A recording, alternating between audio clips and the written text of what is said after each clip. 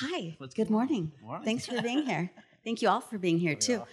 How about uh, uh, introduction? Introduce yourself, and then Uh, I'll I'm start with questions. Yes, I'm Senator Angus McKelvey, and I have the unlucky um, honor, I guess, of being one of the many people who was personally affected by the Lahaina wildfires and been with my community pretty much every day. And it's uh, I'm honored to be here, but I'm also it's probably the most challenging, surreal thing I think I've ever experienced in my life. I'm, I'm only my first term as a state senator.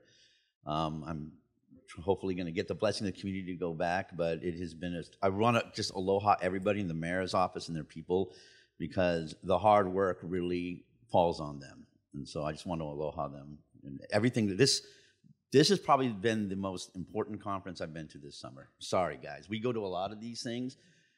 They touch upon the edges. They will not dive into the meat and bone. Exactly, Jen. so, again, thank you for allowing me to use this introduction to mahalo them because the work they're doing is so important. So, Good morning. My name is Troy Hashimoto, and I'm a state senator for Central Maui, so that's the neighboring district to Lahaina. Uh, I was actually, when the fire happened, I was the chair of the housing committee in the House, and so I think that was my response and my responsibility at that point was to really look at some of the housing needs for Maui. Um, you know, I'm actually in the Senate because of the fire, so my predecessor actually resigned from the Senate to uh, take on legal cases. So he's taking on some of the cases of uh, on behalf of you know people that that lived on Maui, and so he couldn't do both, and so he resigned from the Senate, and I took his place um, in the Senate um, in November of this past year, and um, I then went into the vice chair of housing. So I continue my work in the housing arena and space. Um, I also serve on the money committee that we really oversaw a lot of the, the spending, and I, you know, I, I've actually prepared a slide to just kind of give you a taste of what some of the decisions that we had to go through um, as as we went through this past legislative session. But great to be here. I think Jennifer, I, I know Jennifer. She was introduced through a mutual colleague that we served on a panel once, and you know, I think she's been a great resource in terms of understanding what's next. What's next? I think that's, as, as you all know, that's the hardest thing to predict. Um, and you don't know until you're really in it. And so I think this that is a key. And I think now we know we have to pay it forward um, as, as people are, are trying to understand what they have to go through after a fire. So thank you for for inviting me. Thank you. So, the first question for each of you is What have been some of the biggest hurdles facing the immediate aftermath of the fires and the long term rebuild of Maui? He's got a slide presentation, I guess. oh, okay. Um, I guess the the question again. Sorry, I have fire brain. Um, no, biggest hurdles um, in the immediate aftermath and then long term uh, challenges in rebuilding. I think, as my colleague here will, it's the sticker shock of the reality that the states are going to take the hits to their budgets first. So many people, even me, the feds are here. Biden promised 100%. We're going to be taken care of. We're going to be good. And then all of a sudden you discover that 100% isn't 100%. It's 50%, if it's even reimbursed at all. So now our Ways and Means chair, a good friend Donovan Dela Cruz, rightfully so, was in a sheer panic of having to send a memo out to our colleagues to say we're going to be looking at 10% cuts to all state agencies across the entire state of Hawaii. My biggest fear, I guess, in the long-term recovery is how do we ensure that the people of Hawaii support Lahaina and Maui in the canoe that's sinking?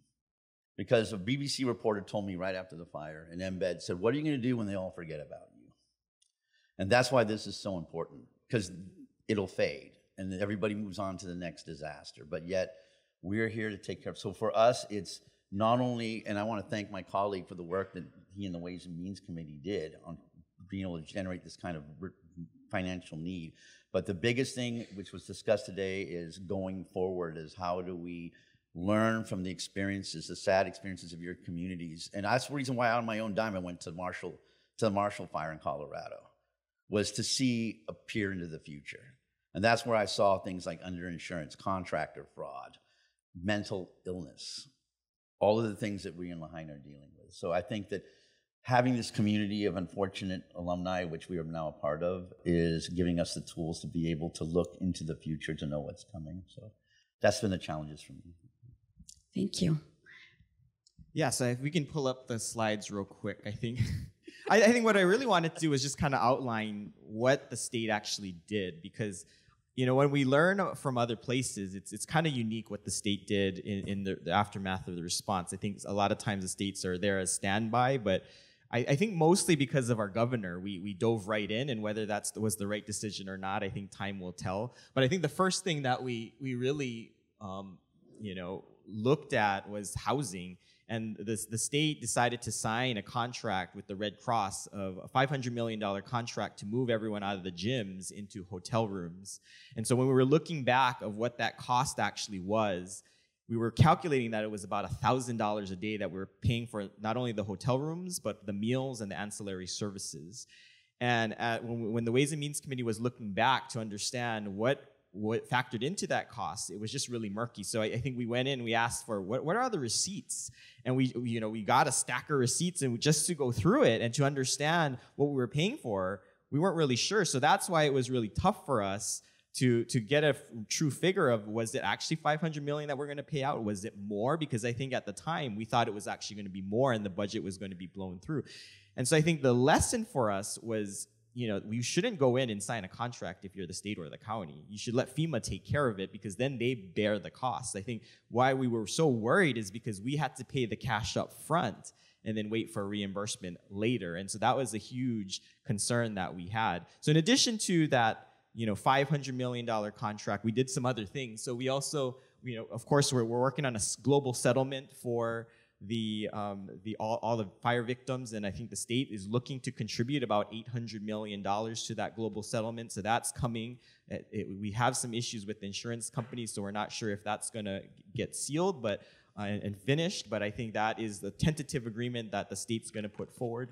We also did um, 65 million for infrastructure rebuild to the county. We did a, uh, a loan to them if they needed to pull on that. Obviously, the county wanted a whole lot more in this first year, but it was a push and pull between the two.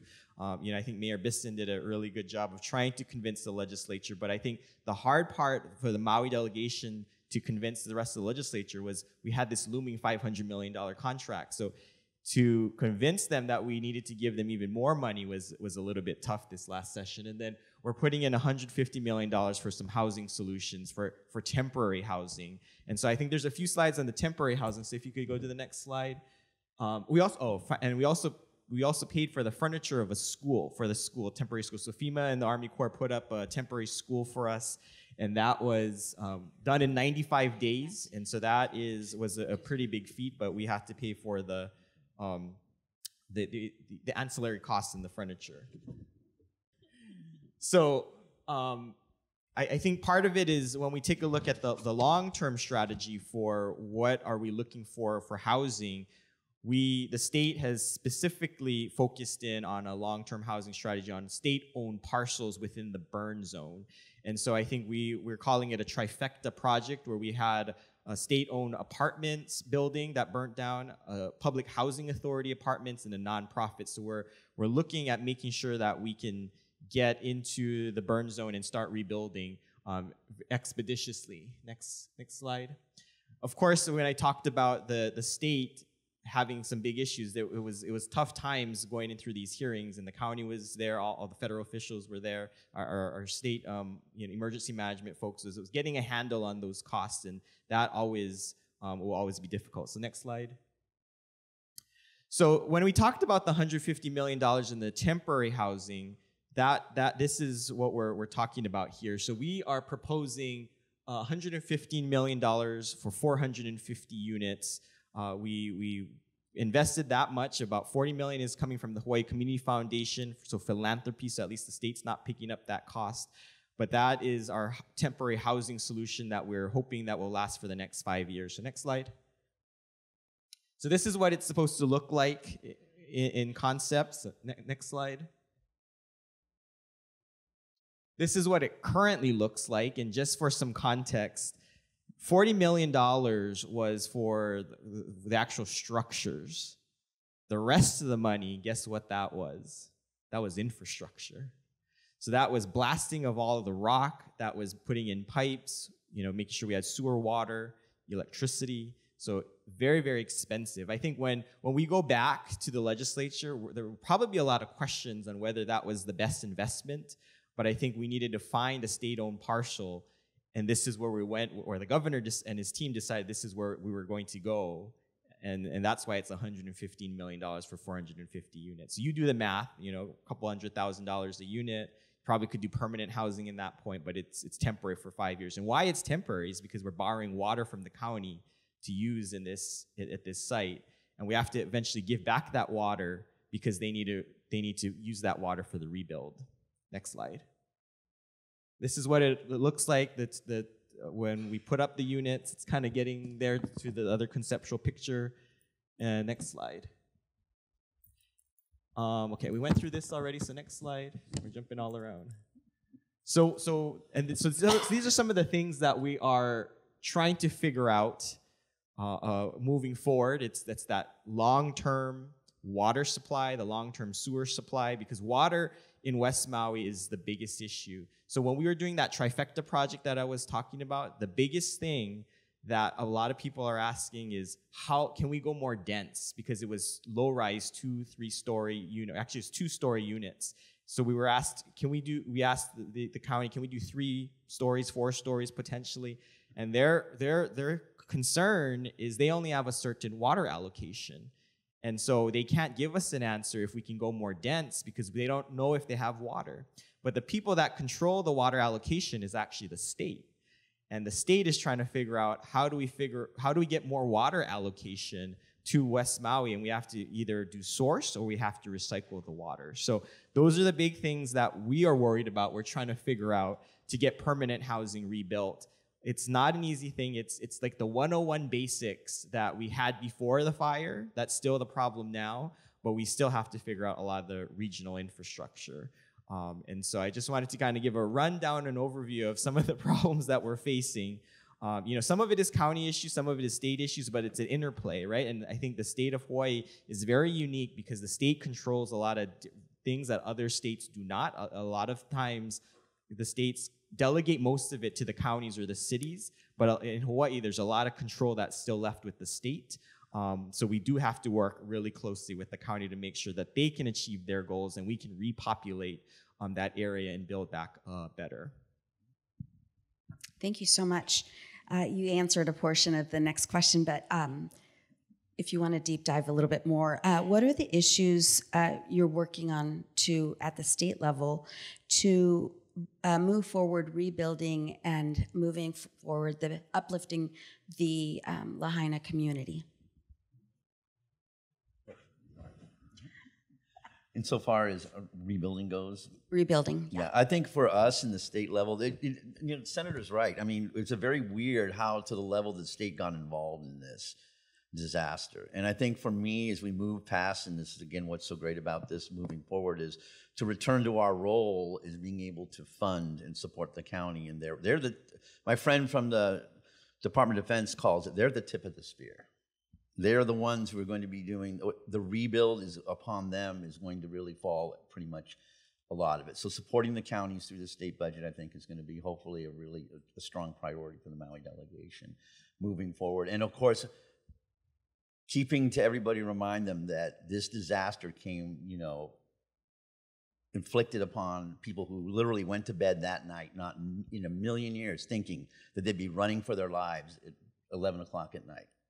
Kids in shopping carts, being in bicycles, woken up, pulled out of their bed.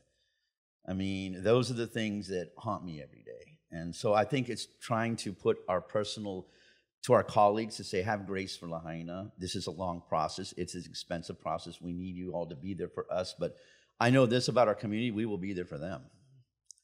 And, you know, and th- that's the sad thing about this fraternity that keeps growing is there's going to be another disaster in Hawaii. You know, I and you see it. Uh, Makakilo, people from Oahu know that area. That's probably lining up next to be very similar to Lahaina. So I think part of what we're doing through the work that Senator is doing in the Housing Committee and others is to try to implement the best practices of other states to get ahead of it. And I think I'll put my personal plug for vegetation management and control. In Oregon, and thank my Oregon friends for being here. We were up there for a conference, and they said for every dollar that you guys had put, if you had put every dollar of that 12 billion that is now being paid out into vegetation management, you wouldn't be looking at a 12 billion dollar tab right now. And so I think for us, it's really going to be systematically working very closely with the county and our, our council members to come up with a plan to support them insofar as trying to create a, as we rebuild, to create a town that's safer. And I think that's the experience that all of our friends here from the mainland offer us. So. I think a couple things. I think some of the things that we really need to focus on is making sure that we can get this global settlement to the finish line. I think, you know, the, what was really important about the governor leading that is that the county contribution is only $10 million, right? And, and that, I think, in a lot of discussions, at least for myself, that's really important because they need to save their capital to rebuild and reinvest in the community, right? The state's taking on 800 million, mostly because we had a lot of fallow lands that and we could po- potentially be culpable for for some of the the liability and that's why we're putting in that much. But we also wanted to lead the settlement to make sure that it it got to the finish line and so showing our contribution you know pushed the other entities to to put in money. But i think we have to now convince our colleagues that we that 800 million is the, is what we should be putting in as a state, right? That that's just a proposal from the governor, and now we have to go figure out how to get the money. So that's going to be very important to protect the, the the role of the county and what they're able to do. Of course, they're going to get federal funds, CDBGDR, but I think their financial stability, in my mind, is is very critical uh, because as as Senator McKelvey said, they're going to be at the front end of the recovery and leading the recovery efforts. They have very very difficult decisions ahead you know, they, there was a lot of structures on the shoreline yeah, which will not be able to be rebuilt just for practical reasons the sea level rise and we across the state we're dealing with structures that are falling into the ocean. So why should we allow these structures to rebuild when we know maybe in 10 to 15 years if you do rebuild you, your property might be in the ocean right? And so this and on top of that i think part of it is we have a global insurance issue. I think a lot of you, probably here in the US mainland, are seeing insurance costs rise. We particularly are seeing that very, very much so in Hawaii as well, right? It's, it's a statewide issue for us, but in particular, Lahaina is going to be hit very hard because no one wants to insure them, right? So the state's going to have to step in to figure out how to do that. And what I've been very fearful of is that that's what's going to end up slowing down the recovery tremendously because people are going to want to get mortgages and they're not going to be able to get that mortgage because there's no insurance out there. And so we're trying to figure out a solution to that on, on how to approach that correctly. Um, you know, we were we threw I threw around some ideas of let's subsidize the insurance to last resort. But part of it is the insurance people are telling me you got to be careful because once you start subsidizing, you, you, you know i think you mess up the private insurance market which is what you eventually want to get back to because you know part of it is sometimes they offer competitive rates because the insurance the last resort right now at least in hawaii is very very expensive. So we need to really look at that. I think we have a, a lot going on this coming session. Of course the last component to that is i think our electric company who you saw how much they're paying. They're, they're you know they're, they're in the billions of liability to, to, towards this settlement and I think their company is not even worth that much. And so they're going to come to the legislature to ask us to bail them out. Um, and they're their only electric company on that serve the main islands. There's there's one co-op that we have in Hawaii, but we have to figure out if we're, what we're going to do with them as well. So lots of big decisions coming up to to support the recovery and support our community um, globally. Thank you so much, senators. You both have lived and breathed um, all of the tragedy of the fire and um, moving your community forward. Were there any lessons learned that you could share with other senators? Well, I actually brought the trauma into the building with me this last session. So I've already shared a lot with my colleagues. um, I'm glad I did. You know, I think for us, our mission is going to be to, you know, feel free, Senator, to jump in. I think is to convince, to have our colleagues understand that this recovery is slow it's painful and it's costly. And we need patience and aloha and support.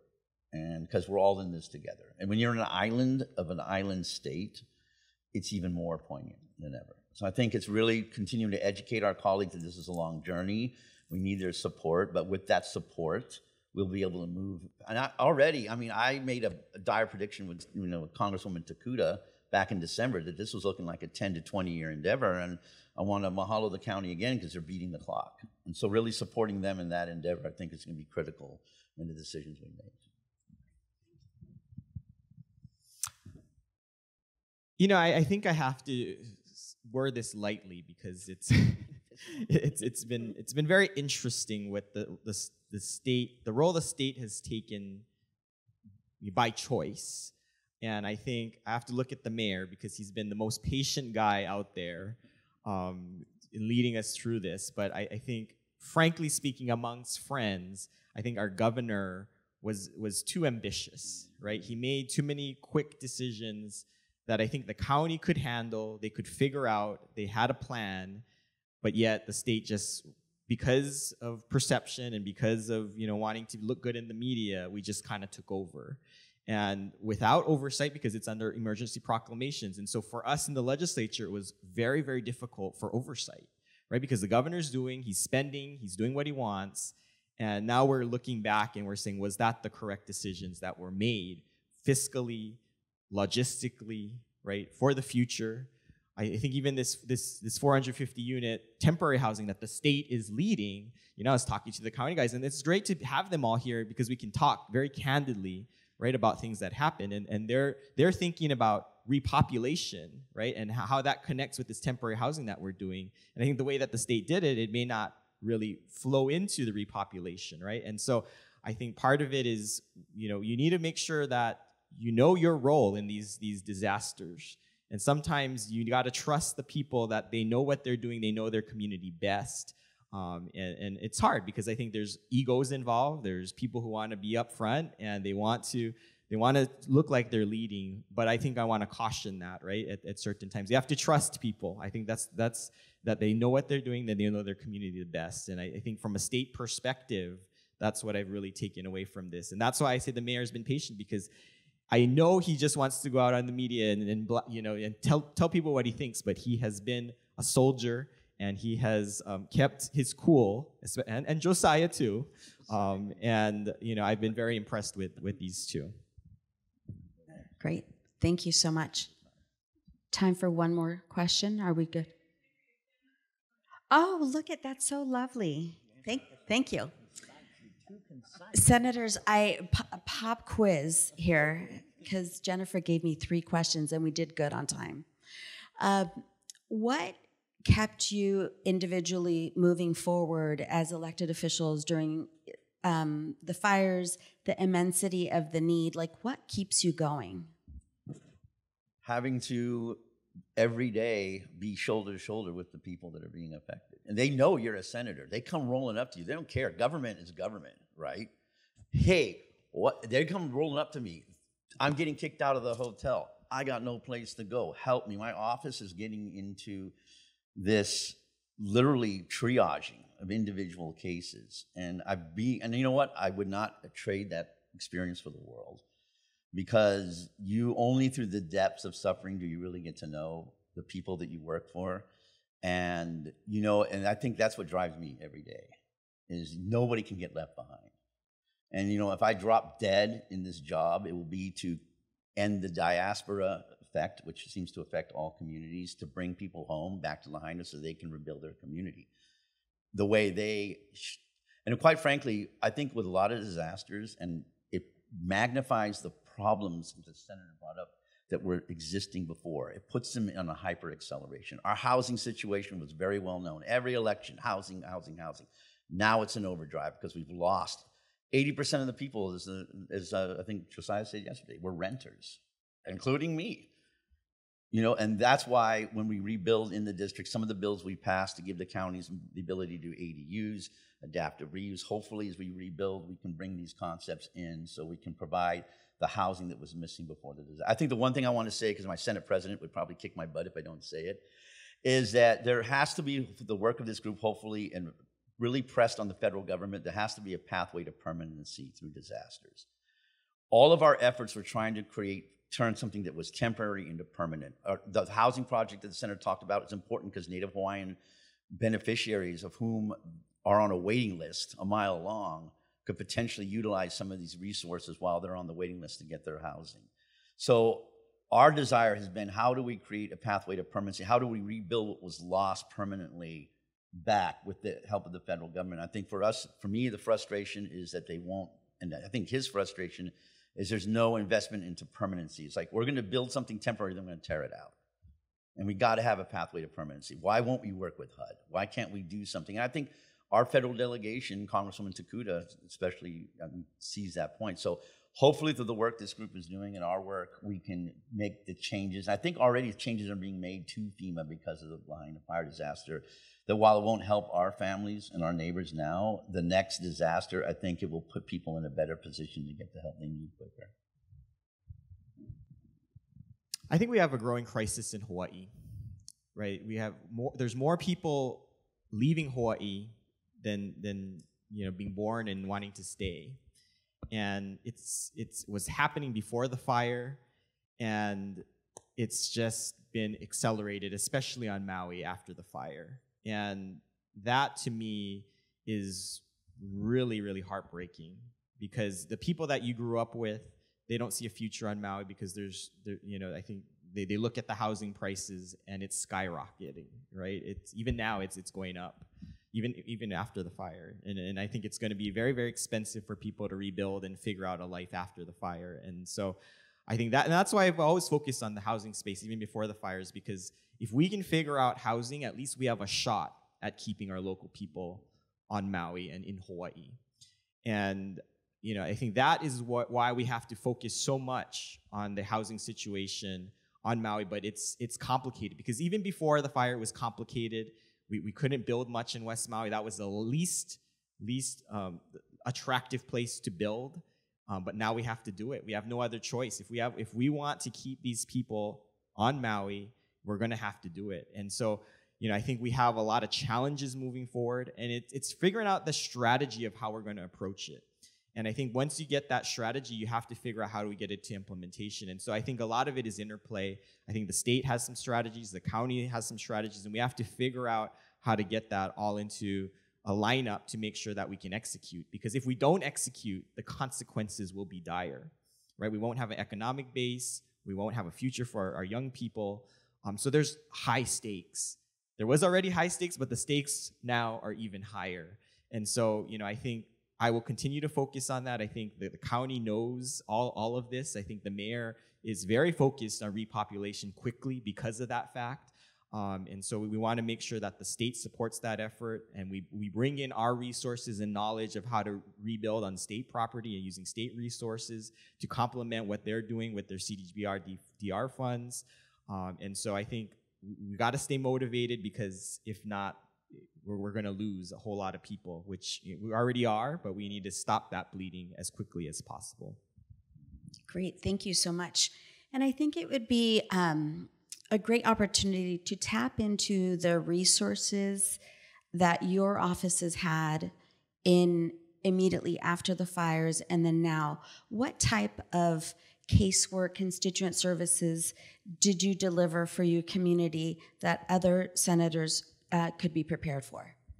Well, we we triaged. I mean, my office. I don't want to give them props. I mean, staff never gets recognized for the work they do, but the work they do is so important. And my my my people, there was so much outpouring. There was this huge spur of the moment drive. We had trucks from Waimanalo pouring into the Capitol. We had the whole rotunda. If you've seen the Hawaii State Capitol, full of donations that came literally pouring in within hours when people found out and saw the footage and everything. And, you know, so that that to me is like, you know, I tried our office of working with our community members with in every in a lot of it dealt with the feds, right? And with the assistance programs and such. But you know, I blessed my staff and thank them because just having somebody to to freak out on would meant a lot to people, right? to call up, call Wendy up and Beth and say, you know, and, and tell their troubles and cry. I, I, I even joked I went to Long's Drugs and bought tissues for my staff because we were running out. But I think because of that, you know, I think hopefully our colleagues, you know, will see that that's the most important thing in a disaster is to create that, to keep your that personal touch with people, to keep some kind of mechanism of hope. Hey, you're not alone. We get it. And I think my colleagues already got that. Or they really do. And you know, I want to give props to Senator Dela Cruz as the chair of Ways and Means Committee because he came rolling into my office about the state housing. And he goes, "We got. I don't. I don't trust the gov's numbers. We got to make this work. I am not going to sit here and watch on August 8th people whose hopes have been raised to be dashed because there's nothing there. And I think that's that to me was so awesome because that kind of personal care from our colleagues, if we can sustain that, I think we'll be able to move forward through this from our level. I think it's just knowing what resources you have to provide. I, I think there's going to be a lot of questions. Um, there's going to be a lot of, I think, venting. That that's that's the biggest thing that you know you, people are calling uh, because they're frustrated. Government to them is government. I think at, at that point the county was overwhelmed, so they start calling the state, and so you have to be able to provide right? I think my, a lot of my office's dealings with was with constituents were absorbing all of these people from from West Maui to to to be temporary housing um, because their family, they were friends, right? What, what, do they do with the schools now because all the schools were closed down? Uh, and so I think just being able to, to to rapid respond, having all the correct information because things were changing very very quickly. Um, at the time, and I think there was at a certain point there was an information I think we didn't have all the information in one place, but you know, I give the county props. They, they quickly figured out how to get that information out. They even started doing radio messages, and so I think that was solved. But it's it's those those first 48 hours, 72 hours that are the toughest because that's where there's so much confusion. You don't know what is correct, what is not, what, and especially with social media. Social media is going to be your biggest enemy because everybody thinks they're a reporter and knows everything and is and people are reading it and you're like no that's not true right? And so it's establishing those sources that can be trusted and making sure that you're proactive that if you're a trusted source like a senator or the county that you're pushing out that info proactively because if not other people are going to find information from other people that are not correct and so i think communication is key I think it's it's once it's established, it's fine. But again, it's the, the, those first couple of days that it's it's critical to to make sure that you're ready to go. Thank you so much, and thank you for sharing um, your wisdom and knowledge.